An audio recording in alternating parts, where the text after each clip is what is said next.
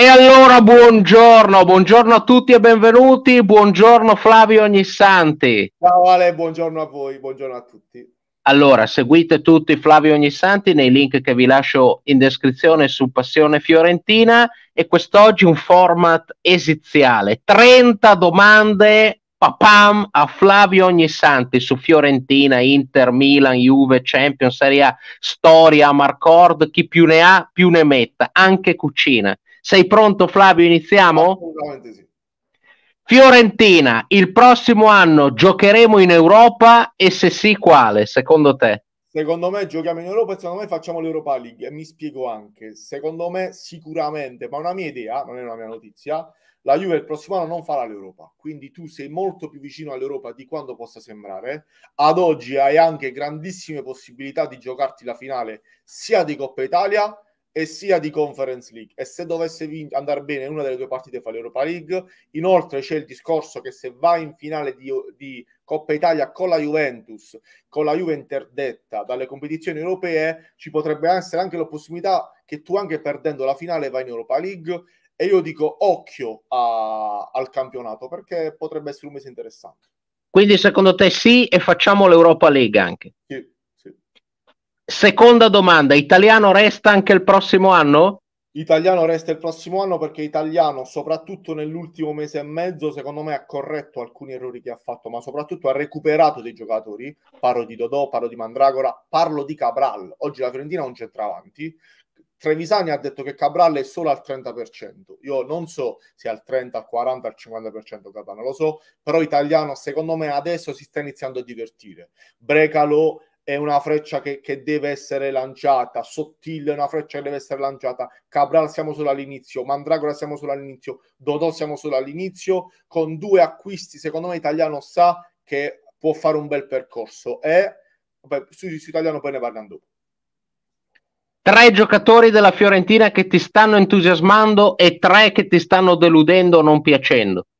Igor per me, e lo dico, è un, è un, difensore a Firenze. Allora, sta lasciando lo scorso anno che c'è stato un Igor Mania, poi è stato un fuoco di paglia, parlo di um, umore dei, dei, tifosi e di entusiasmo dei tifosi. Quest'anno per me Igor è molto sottovalutato. Anche a me sta piacendo più quest'anno che l'anno scorso, concordo. Perché lo scorso anno, sai, è stato un periodo boom boom boom. Eh. Quest'anno, quest'anno è più maturo, è più maturo. Più giocatore cioè non quello che entra e fa bene, quello che parte a responsabilità, non perde. Bravo.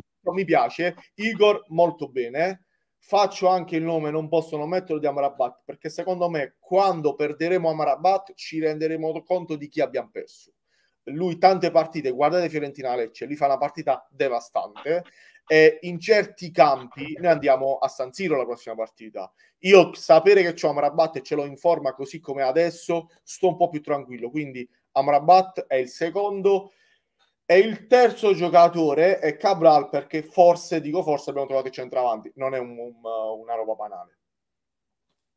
E i tre che ti stanno deludendo o non entusiasmando? Il primo, il primo Jovic perché io ero a Moena quest'estate e quando vedevo Jovic dicevo caspita, questo con la palla fra i piedi fa quello che vuole. Ragazzi, Jovic l'ho visto dal vivo a Moena, lui metteva la palla dove voleva, uno o due tocchi, era delizioso e dicevo adesso non si muove perché a Moena non si muoveva. Dicevo caspita, però adesso non si muove, siamo a luglio. Quando si muoverà farà questo che fa da fermo, lo farà in movimento. Questo è un giocatore fantastico invece oggi è ancora quel giocatore lì, parlando con qualcuno che gli allenamenti li vede, mi dice che non è che lui è proprio così, anche in allenamento, quando dicono forza Jovic, for... lui ha quel passo lì, ha quella movenza lì, però alla Fiorentina hanno un'opinione di, di Jovic molto elevata, cioè lo staff italiano pensa che Jovic sia fenomenale ma nel calcio, ragazzi, devi correre, devi, eh, devi, fare un certo tipo di gioco che Jovic oggi non fa. Quindi dico Jovic, mi sta deludendo uh, Biraghi perché lo scorso anno per me ha fatto una stagione da sette e mezzo, quest'anno è un passo indietro rispetto alla scorsa stagione.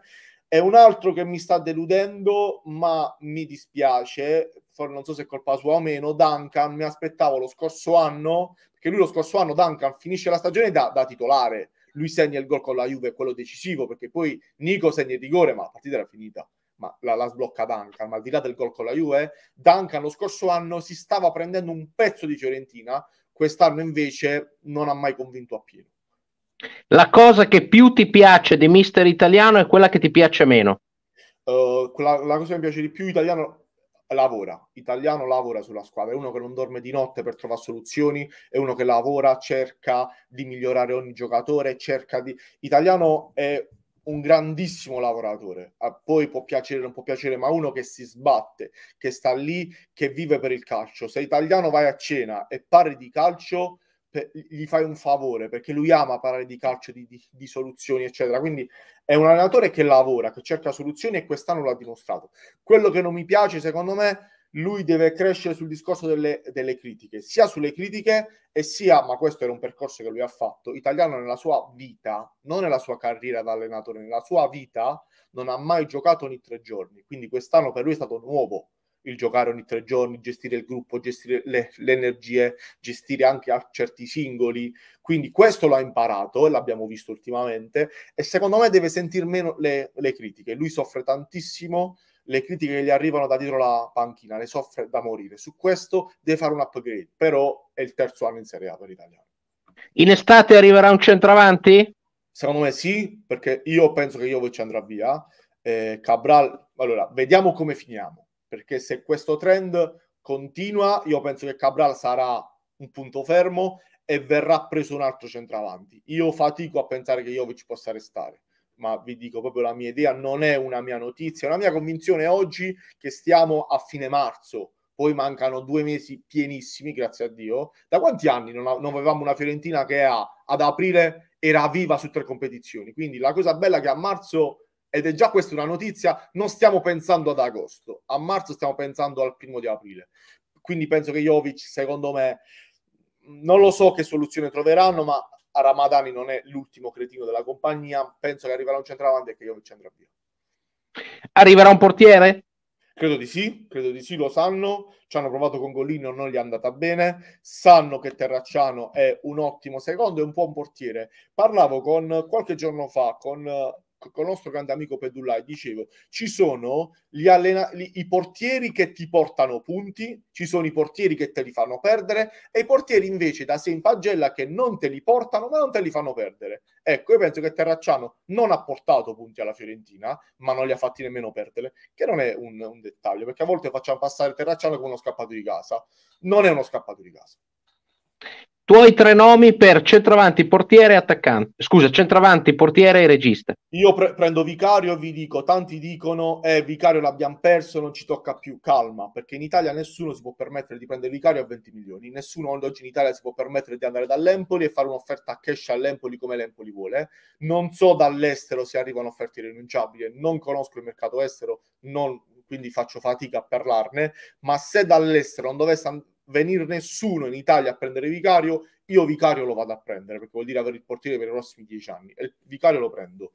Sul discorso difensore, io prenderei, uh, vediamo se avrà No, era, era centravanti, regista e portiere. Il allora, difensore me la tengo per la pontatina. Bravo, allora, quindi centrocampista eh, andrei a prendere, onestamente, andrei a prendere eh, il centrocampista dell'Inter, Asdelani perché okay. Aslani non sta giocando uh, Ita- uh, addirittura Inzaghi ha preferito in qualche partita mettere Gagliardini che è praticamente uno svincolato e non Aslani è un segnale qual- che qualcosa è vero che l'Inter cambia allenatore perché l'Inter cambia allenatore eh?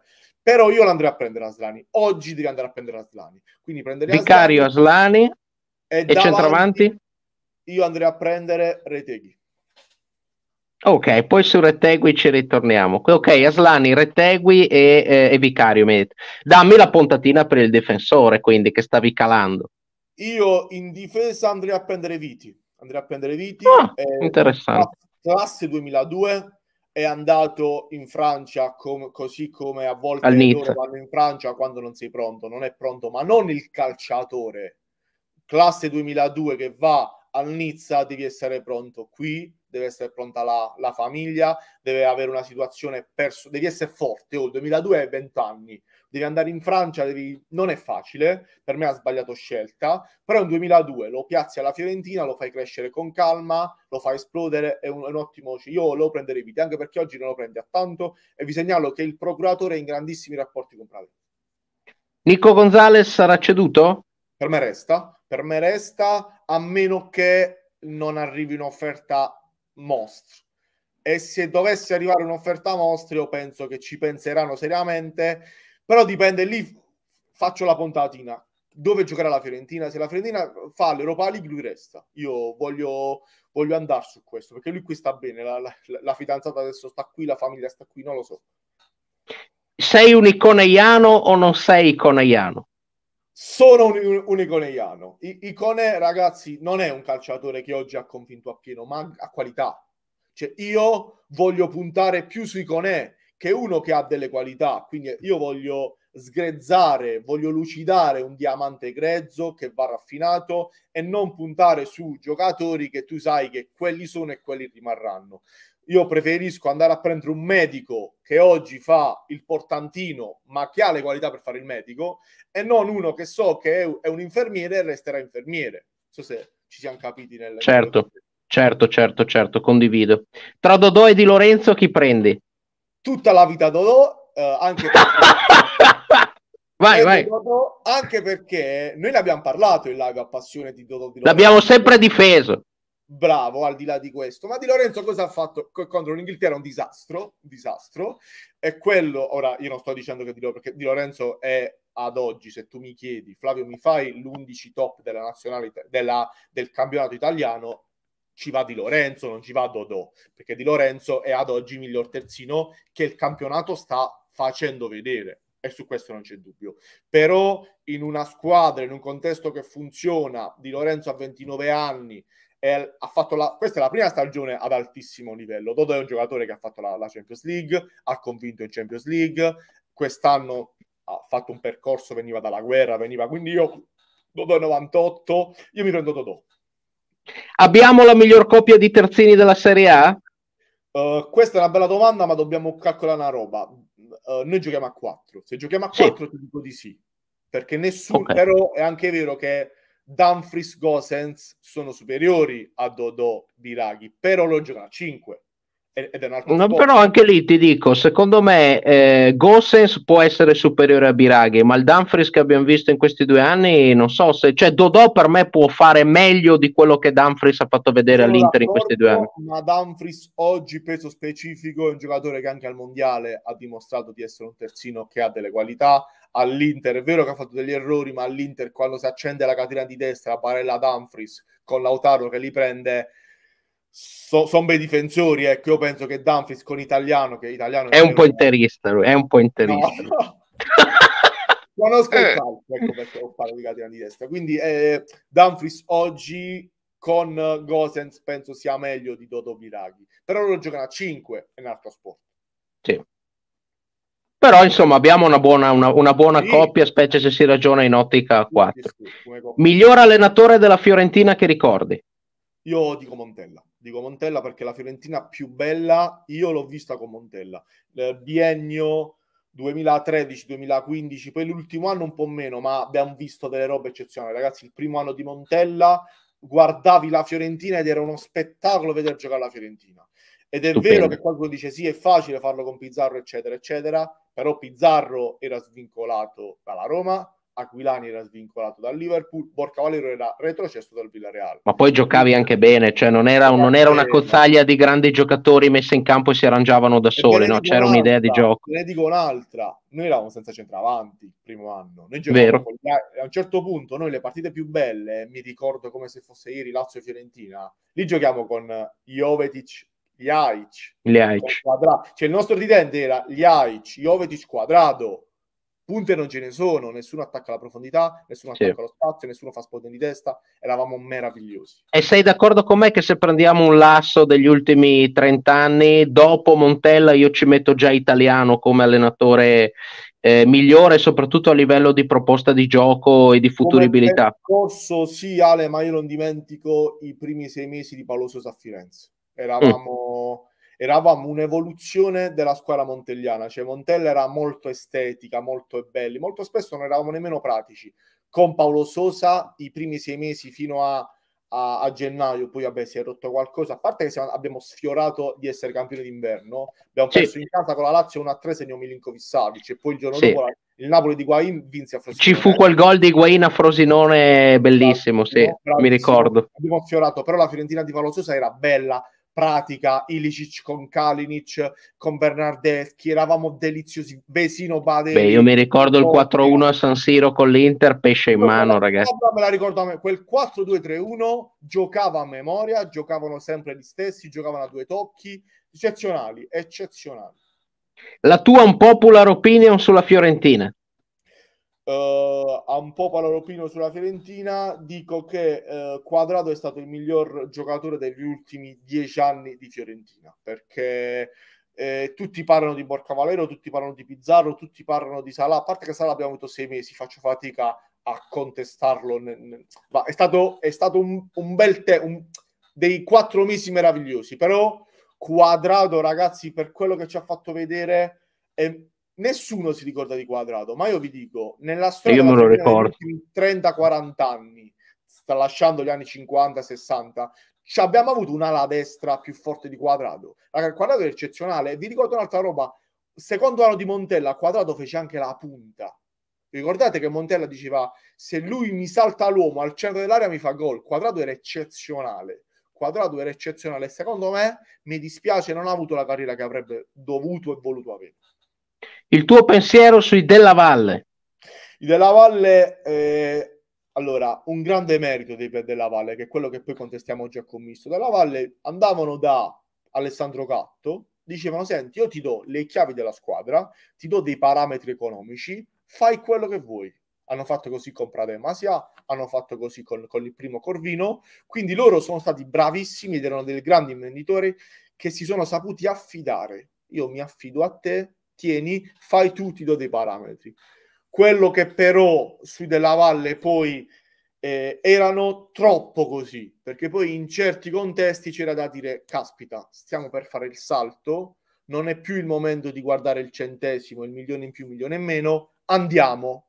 Abbiamo avuto più occasioni, penso all'ultimo anno di Prandelli, dove noi a gennaio del 2010 siamo semifinale di Coppa Italia, siamo ai quarti agli ottavi di Champions League e siamo secondi in classifica. La Fiorentina, dopo aver vinto a Siena, non mi ricordo che se 4 a 1, 5 a 1, 5 a 0, doppietta di gira, doppietta di mutuo, era seconda in classifica.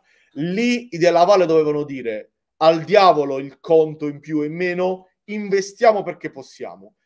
I della Valle sul più bello son, hanno sempre fatto un passo indietro. Ecco, commisso da questo punto di vista mi sembra diverso. Cioè, rispetto a Della Valle non è uno che va da Alessandro Catto e dice tieni, ti do i parametri stacci, però nel momento che la Fiorentina sarà chiamata ad un salto di qualità, io sono convinto che Commisso lo farà. Cambieresti direttore sportivo? Allora, è troppo facile dire sì, prendiamo Giuntoli, sì, prendiamo... C'è una realtà. Oggi alla Fiorentina dobbiamo prenderne atto, piaccia o meno, prendiamone atto. Oggi la, il, chi è il braccio operativo, chi è il Galliani della Fiorentina è Gio Barone.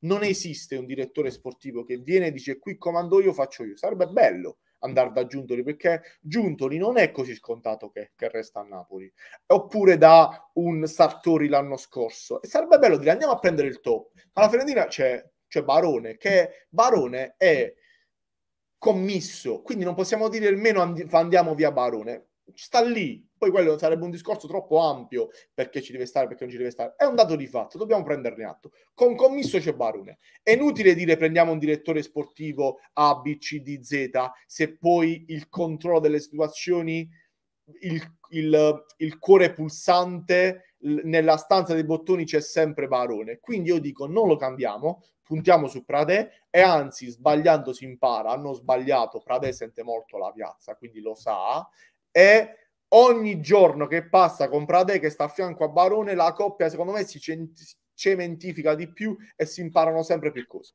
A patto che continui a portarci una puntatina a sessione. A patto, va bene, va bene, va bene. Che una, cosa, una cosa che ti piace di Firenze e una che non ti piace. La passione sulla... di Firenze, sulla passione mm. di Firenze, ragazzi, um, il Napoli vincerà lo scudetto, ha vinto lo scudetto, fa 5.000 abbonati. Oggi tutti sul carro, stadio pieno, tutti a fare i buffoni a Napoli. Oggi, troppo facile fare i buffoni oggi, quando si ha più 20, a più 15, a più 18. Ad agosto a Di Maro, De Laurentiis non è potuto andare a fare la presentazione della squadra perché lo stavano massacrando. Oggi, facile fare i buffoni oggi.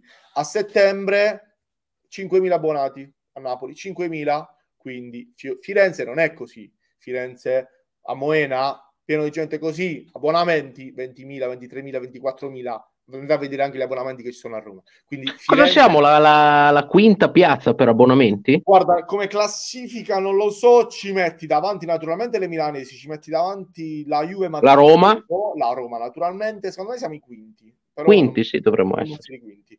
E quindi questa roba qua di Firenze è meravigliosa. La passione.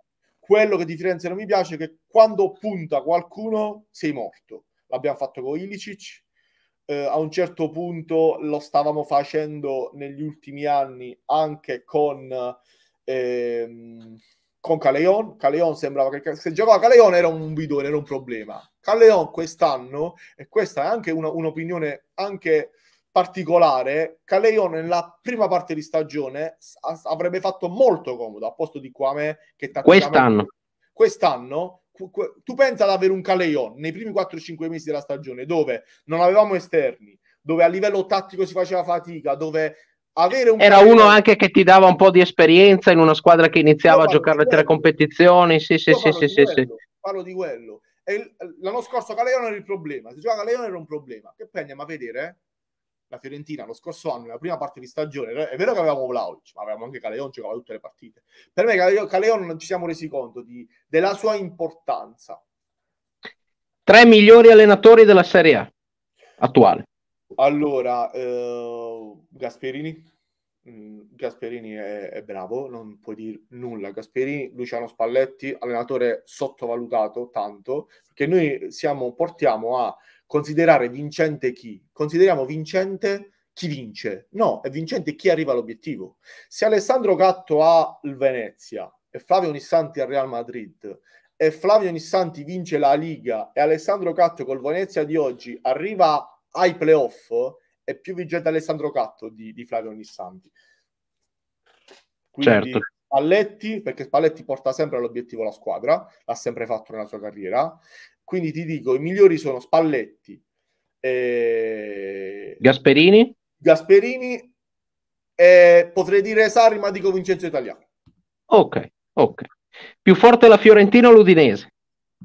Allora, più forte la Fiorentina naturalmente, l'Udinese è una squadra che eh, secondo me ha perso il treno perché negli anni in cui era molto forte, parlo quando l'Udinese in squadra aveva gente come De Paul, Molina, eh, secondo me in quegli anni hanno Doveva sbagliato la guida tecnica.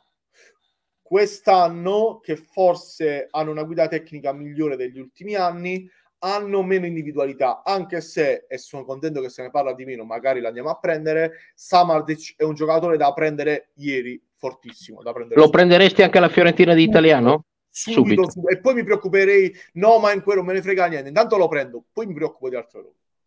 Più forte la Fiorentina o l'Atalanta?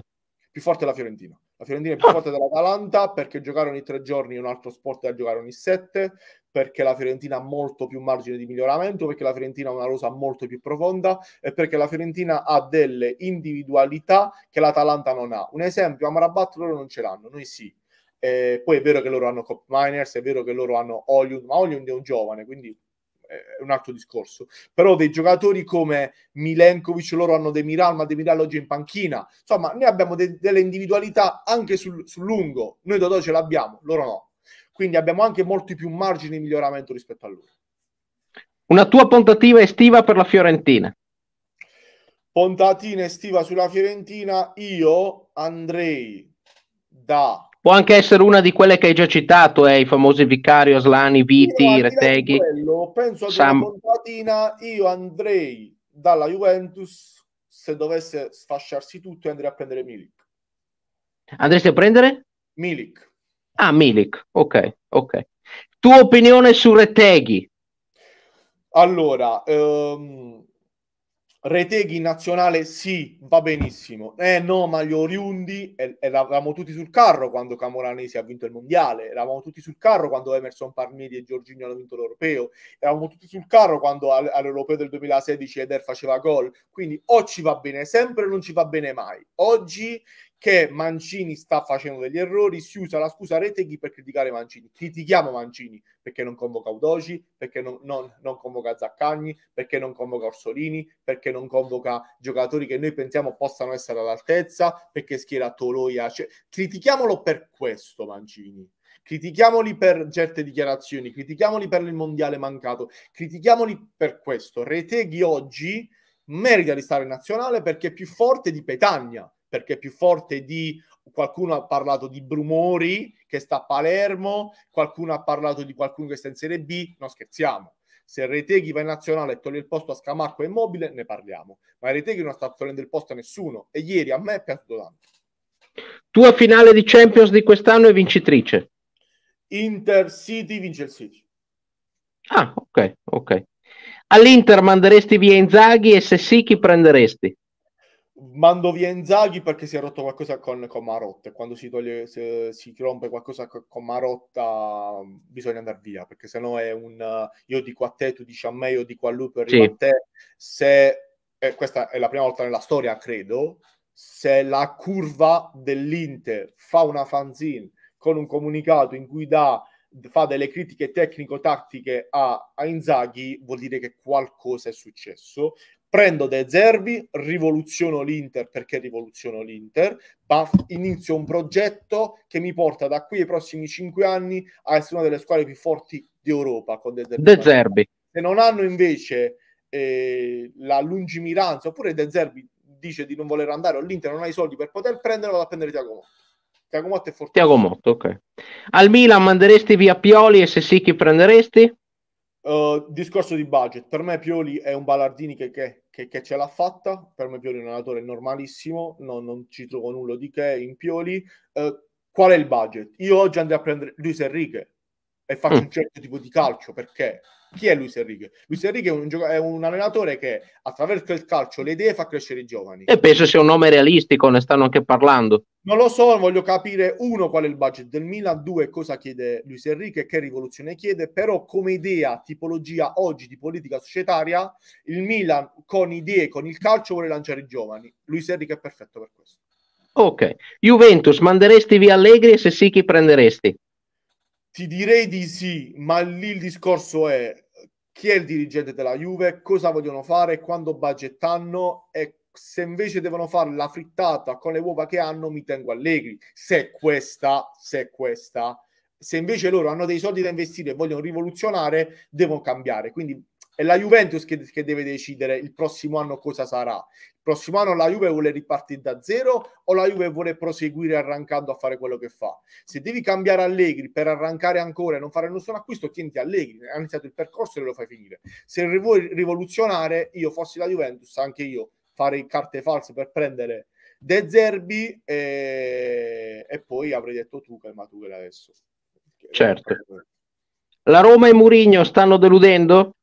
Risultati no, perché i risultati non sono deludenti. La, la, Roma è in lotta per il quarto posto, la Roma è ai quarti di, di, di Europa League, hanno fatto flop in Coppa Italia, ma se la, visto che Mourinho vuole essere giudicato dai risultati, perché c'è un allenatore che dice non mi giudicare dal gioco, non mi giudicare dall'identità, giudicami dai risultati. Se non arrivi in Champions League è un fallimento.